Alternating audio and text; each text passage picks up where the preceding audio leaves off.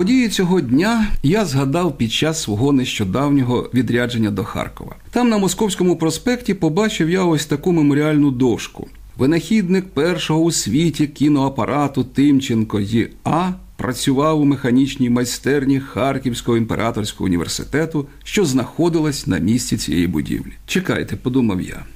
А брати Люм'єри, про яких всі знають, яким приписують кіновинахід, невже в черговий раз, як із Іваном Пулюєм, українці були першими, але про це мало хто знає. Ну і справді, півстоліття днем народження кіно історики вважали 28 грудня 1895 року.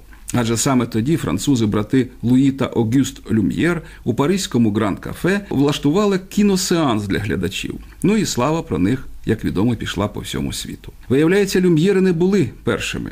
Відкриття кінематографу було зроблене в Україні в Одесі 9 січня 1893 року механіком самоуком Йосипом Тимченком. Народився він 26 листопада 1852 року в селі Окоп, що на Харківщині, в багатодітній родині кріпака Андрія Тимченка. Закінчив церковно-приходську школу, але з дитинства виявляв виняткові здібності до ремесла. Коли йому виповнилося 14 років, йому пощастило потрапити на навчання до механіка Харківського університету Едельберга, і він працював у цій майстерні майже сім років і здобув репутацію справжнього майстра точної механіки. Маючи певний досвід і кваліфікацію 1880 року. Тимченко розпочинає діяльність механіка в Одеському, а тоді він називався Новоросійським університеті. Цій діяльності він віддав понад 40 років свого життя.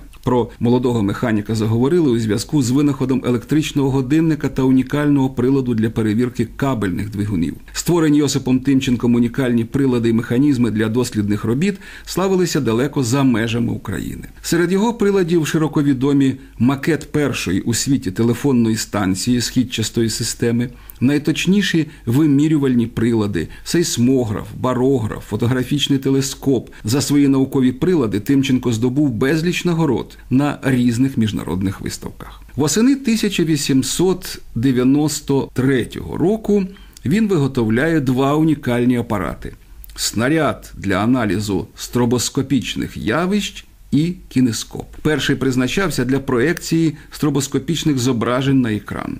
Він мав у собі стрибковий черв'ячний механізм, що забезпечував переривчасту зміну зображень, так званий завиток. Головна причина невдач у конструюванні апаратів, здатних здійснити кінопроекцію і кінозйомку, саме й полягала в тому, що винахідникам не вдавалося забезпечити переривчасте переміщення кадрів у момент проекції. Саме стрибкового механізму не було в більшості прототипів кінематографа і пощастило тут небагатьом. І оцей заданий другий апарат Тимченка кінескоп також являв собою прототип кінокамери і фактично розв'язував проблеми хронографії окремих фаз руху, що є першою складовою частиною кінематографа. Понад те, Тимченко відзняв і показав на екрані кілька епізодів.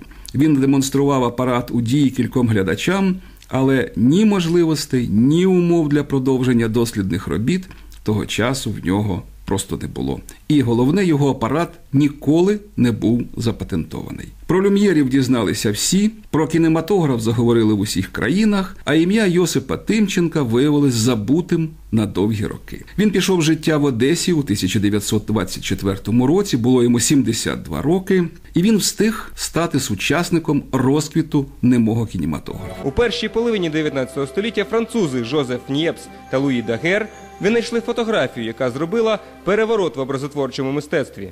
Жозеф Нісефор Ньєпс, французький винахідник, роки життя 1765-1833, сфера інтересів, геліографія, технічні новинки та винаходи. Луї Жак Манде Дагер, французький художник. Роки життя 1787-1851. Сфера інтересів, хімія, технічні новинки та винаходи. Вадим Костроменко, український кінорежисер. Рік народження 1934. Сфера інтересів, історія одеського та світового кіно. Как только появилась возможность запечатлеть летучий момент жизни, очень хотелось продлить его, и чтобы это было движение и действие. Помощью фотографии оказалось, это сделать можно. Для того, чтобы снять шьющую женщину, нужно было сделать целый ряд неподвижных фотографий. На первом кадре она взяла иголку, поднесла к ткани. Сняли. Перезарядили аппарат. Она воткнула иголку в ткань. Сняли. Перезарядили аппарат. Она взялась за иголку с другой стороны. Перезарядили. И так далее. Несколько кадров. Потом, перелистывая их, можно было увидеть это движение.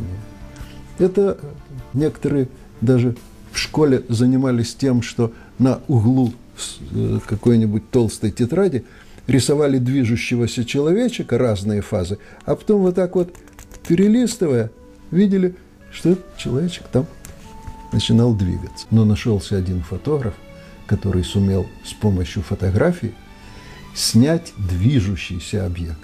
Едвард Мейбридж, англійський фотограф, роки життя 1830-1904, винахідник зоопраксіскопа. Была выстроена белая стена. Против стены было поставлено 16 фотоаппаратов.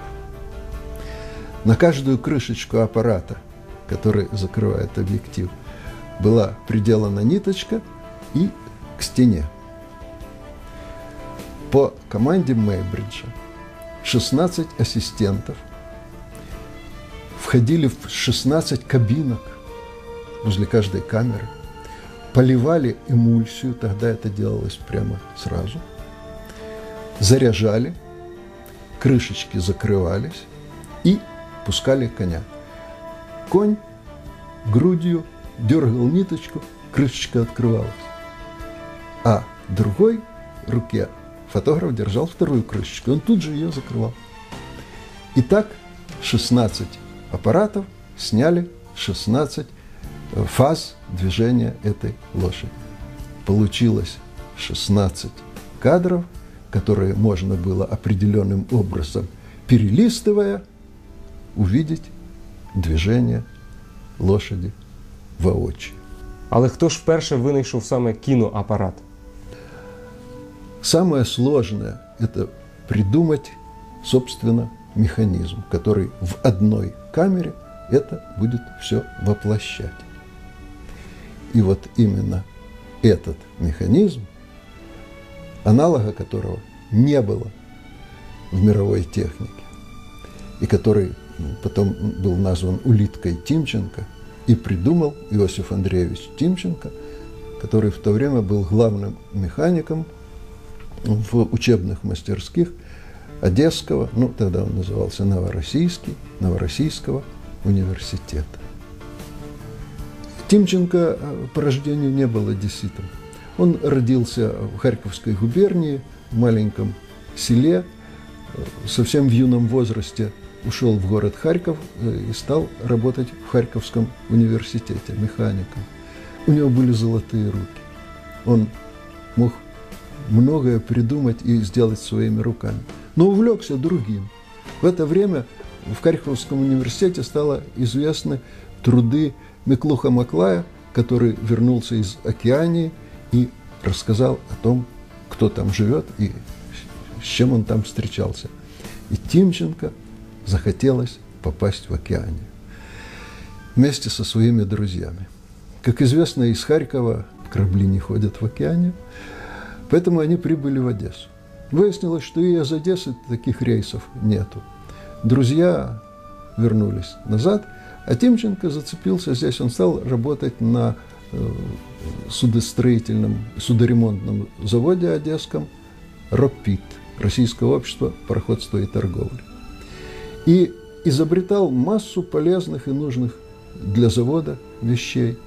Не только для завода, но и для города, для нашей Э, обсерватории. А когда открылся конкурс на э, вакансию механиков в университете, он победил на этом конкурсе и стал главным механиком учебных мастерских. І фактично одесити, і краєзнавці, і такі звичайні одесити вже з корінням, вони знають, що кінематограф народився саме в Одесі на Преображенській 24 в механічних майстернях Одеського університету, імператорського, тоді Новоросійського університету. Самойлов Федір Олександрович, завідувач кафедри нової та новітньої історії історичного факультету Одеського національного університету імені Мечникова. Рік народження 1947. Сфера інтересів історія Російської імперії 19-20 століть. Краєзнавство. В університеті тоді працювали такі видатні вчені, як Ілля Ілліч Мечников, Олександр Ануфрійович Ковалевський, е, Іван Михайлович Сєчинов, Олександр Вікентьович Клосовський, е, Федір Нікіфорович Шведов. І саме ці люди, так би мовити, допомогли Тімченку здійснити, коли він вже прийшов в університет працювати, е, здійснити його мрію, заснувати тут в Одеському, тобто Новоросійському тоді університеті, е, механічні майстерні. А Тімченко завжди все, що він робив, він хотів, щоб це було найвищої якості, найбільш передові технології.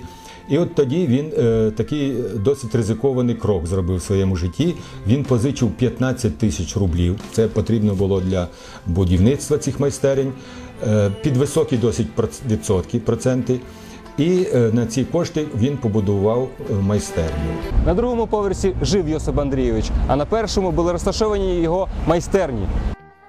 Тут жив і працював з 1896 по 1924 рік Йосип Андрійович Тимченко, винахідник першого у світі кіноапарату для зйомки та демонстрації фільмів, на якому зняв картини Метальник спису і Верхогонний кавалеристи 1893 року. Верхогонний кавалеріст і цей фільм було знято Тимченком на одеському скаковому полі на іподромі. Своєму заочному змаганні з англійцем Мейбриджем українець міг святкувати беззаперечну перемогу. Замість 16 фотоапаратів він використав лише один кіноапарат. В результаті рухомі об'єкти дійсно ожили на екрані. Цікава новина: виставка живих фотографій на розі Дерибасовської та Криничного провулку. Щодня відкрито з 11 годин ранку до 11 годин вечора. Подробиці в афішах 7 листопада 1893 року. Газета Одеські новини. Подібні обяви не були одинокими в одеських мас-медіа. Ефект рухомої фотографії вже був відомий одеситам. Показовий і той факт, що цій новині на газетних шпальтах відводилось другорядне місце між об'явами про продаж дров та оголошеннями про показ небачених одеситами тварин з південних морів. Організатори виставки живих фотографій, скоріш за все, навіть не підозрювали, що в двох кварталах від демонстраційної зали вже створено кіноапарат та відзнято за його допомогою два фільми. Їхні рухомі фотографії все ще дивували глядачів. Э, В самом начале 1894 года, в январе месяце, в Москве состоялся Российский съезд естествоиспытателей. Именно на этом съезде и был продемонстрирован этот аппарат и эти две ленты. В протоколах было записано, что съезд с большим одобрением отнесся к остроумному изобретению господина Тимченко и выразил ему благодарность. И все. Ну, никому в голову не пришло, что, родил, что родился кинематограф. И, конечно, никому в голову не пришло, что нужно было бы запатентовать это. Йосип Андрійович Тимченко не розгледів вчасно практичного значення свого винаходу. Він, як багато хто з дослідників-теоретиків, не взявся за справу поширення свого дітища по світу, не мав для цього ані часу, ані бажання, ані можливостей. Вже рік по тому французькі промисловці, брати Люм'єр, не тільки створили кіноапарат, зняли на нього фільм, організували перший його комерційний показ, але й на базі свого підприємства почали масове виробництво кінофільмів. Кінематограф у 1995 році світ відсвяткував сторіччя кіно. Ми не будемо спорювати першість братів Люм'єрів. Врешті-решт, перший крок до створення кінематографа зробили безіменні давньоєгипетські художники. Саме в давньому Єгипті ефект мультиплікації вперше був використаний на стінах одного з палаців фараона. Проїжджаючи на колісниці повз зображень лучників, володар верхнього і нижнього Єгипту мав змогу споглядати їх уявний постріл. Геніальний фізик свого часу Ісаак Ньютон сказав: Я побачив так далеко, адже стояв на плечах у гігантів. Не забуваймо про них, гігантів, на плечах у котрих стоїть сучасне кіномистецтво. Не забуваймо про Йосипа Андрійовича Тимченка.